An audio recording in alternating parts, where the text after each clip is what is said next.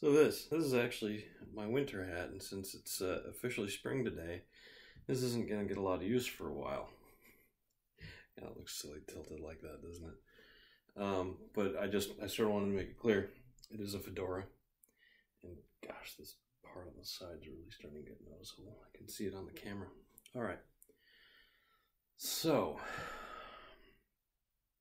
about probably six years ago now yeah, about 2012. I don't remember. Oh, I do remember what it was. I was watching a Japanese show called Kamen Rider Double with a W as the logo. Kamen Rider is a long standing Japanese show. In fact, there are some ways to calculate the information that would make Kamen Rider the longest running fictional television program in history. It's up there with Doctor Who and Ultraman. Not kidding. But it's not very well known in America. Kamen Rider, by the way, common is, uh, kamen is the Japanese word for mask. So it's actually Masked Rider. Uh, it was shown briefly in America back in the mid 90s alongside Power Rangers. Power Rangers in Japan is called Super Sentai. Uh, and Power Rangers in America has become very famous. It's become a household name. Kamen Rider has not. But Kamen Rider changes its formula every year. And the formula for Kamen Rider Double was that there were two. There were two guys who became one Kamen Rider. Uh, hence the double. But the Kamen Rider shows generally have a gimmick and then they have a theme. And the gimmick was that there were two guys that became one. The theme was detective fiction, specifically hard boiled noir detective fiction, but spoofed with a little Japanese spin on it. So, uh, one of the characters affectionately referred to as soft boiled detective fiction. Um, but uh, that character that would constantly make the soft boiled joke to his cohort's misfortune was named Philip. And in fact, he got the name from a character named Philip Marlowe, created by Raymond Chandler back in the 30s and 40s. The show was good. It was a little silly. It was goofy at times, but it had a lot of heart. And it got me to look at the works of Raymond Chandler and Dashiell Hammett and others, and I developed a fondness for detective fiction. I got so fond of it, in fact, that I decided I don't know why my eyes are going crazy today, but I've had to rub them a whole lot. It might be the pollen in the air. I decided I would start reading, and I was decided that I would start wearing a fedora.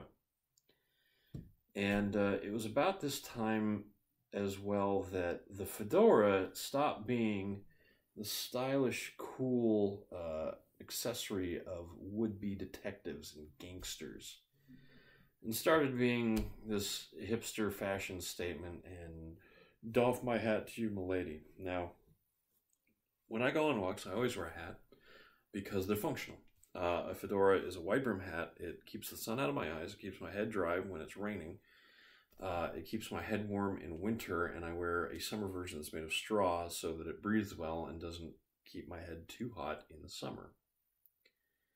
And when I go walking and I see the mostly older folks also walking around and some younger folks jogging around, I just do one of these.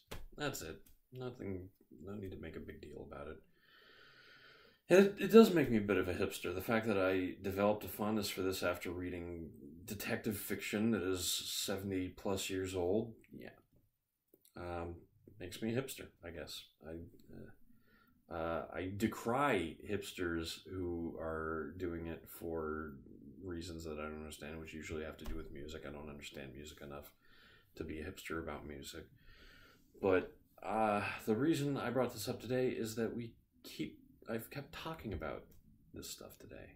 Um, I had dinner with my folks and talked about how much I like La La Land and how one day I'd love to write a script for a jazz musical noir detective movie. Because I don't think they make enough jazz musicals. I really like La La Land.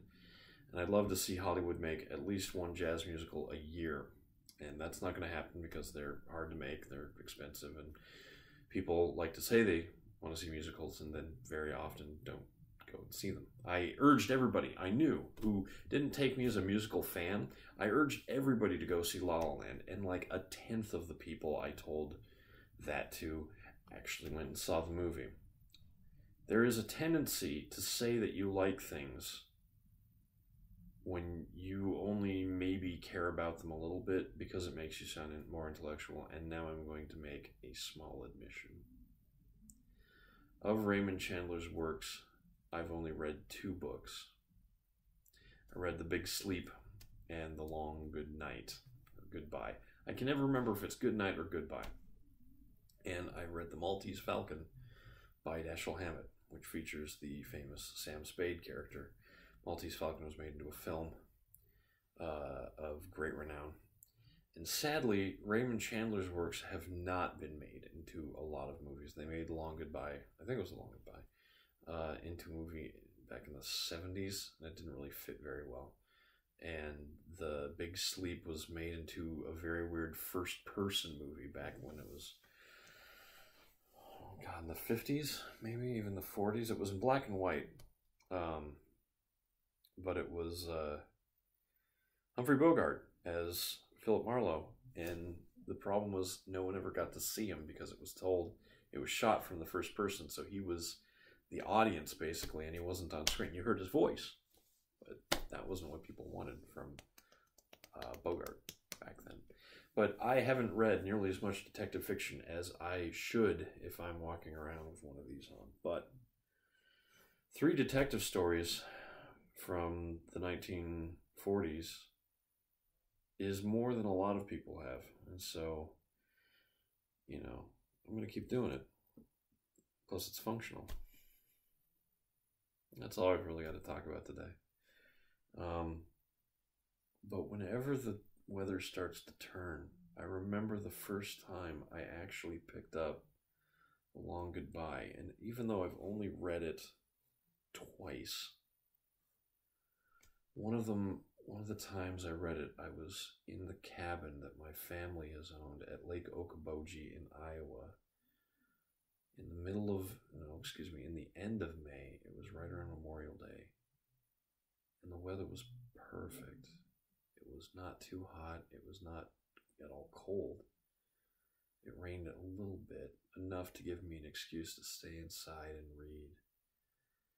And it was such a weirdly voyeuristic look into this the lives of these wealthy magnates, a wealthy writer, um, the, the the actions of the police to interfere with this private investigation that Marlowe was hired to do.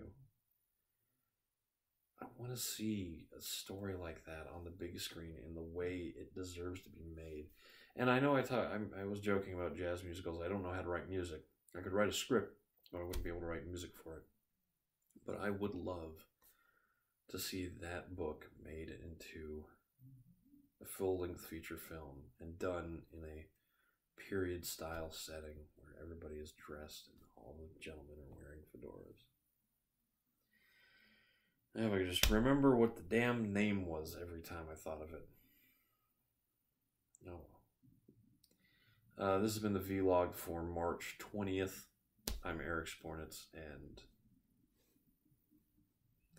tomorrow will be better.